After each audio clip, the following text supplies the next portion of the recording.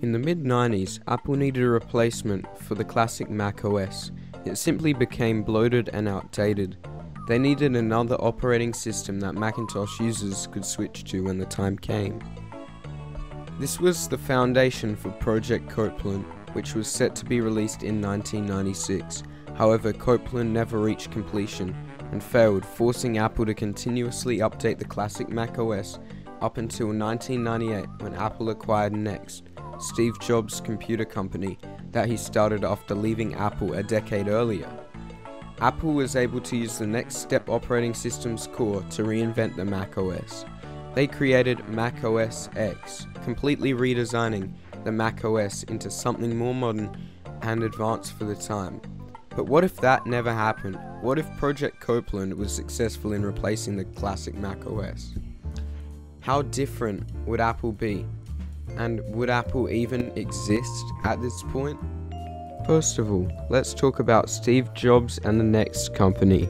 Both Windows and the Mac OS had already dominated the PC industry for years, and Next wasn't going to explode anytime soon. In the late 90s, the Microsoft monopoly exploded in size, releasing Windows 95,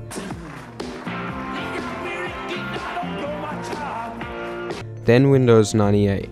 To keep people using Windows, they even threw out small upgrades such as ME, which was a, a laggy mess by the way, with uh, a lot of blue screens, whilst they kept users waiting for Windows XP, their new redesign of the Windows operating system in 2001. Windows was a humongous competitor in the computer industry, and while the Mac's market share was falling, it definitely wasn't as obscure as Next. There was a handful of them in early days. In the late 80s, at the beginning of the graphical user interface era, many OSs emerged. IBM OS 2, BeOS, and IRIX were just three. Then there was Linux and NextStep. By the late 90s, the leaders in operating system technologies had emerged victorious as the smaller ones fell.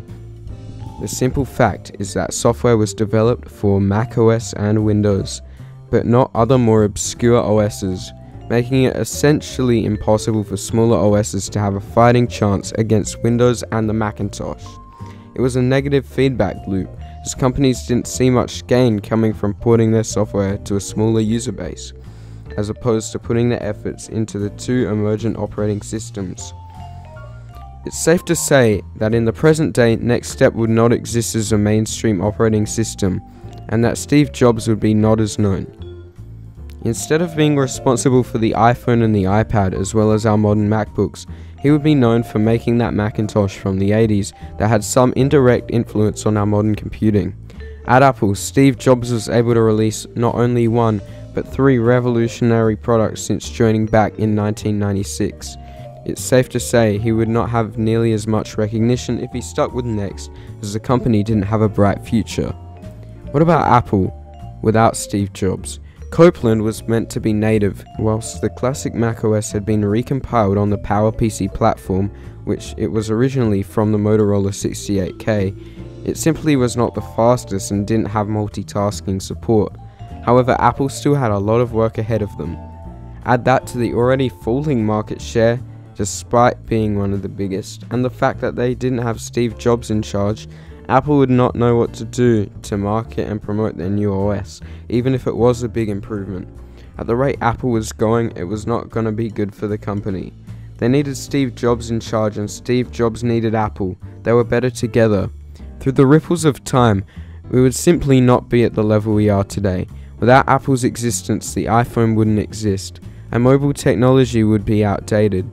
Android would not be the leading mobile operating system either as it was originally software for a camera.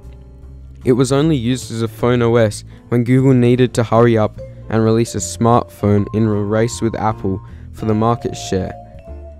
It would be safe to say that phones would be at least 5 years behind what they are now, and companies like Samsung and Google would have their own operating system that is probably separate from Android. Without this technology, e commerce wouldn't move as fast, Instagram would be less popular or maybe not even exist, as well as a handful of other online companies. The internet would have a lot less content. Laptops may be even a lot chunkier than they are today in an alternate timeline. perhaps Linux would be a much larger OS, as there are a lot of people who want to use Windows and instead choose Mac. Without Mac as an option, they're driven to Linux, which has always been the third most popular. Next time you think that Mac OS is insignificant, think of the huge impact and influence it's had.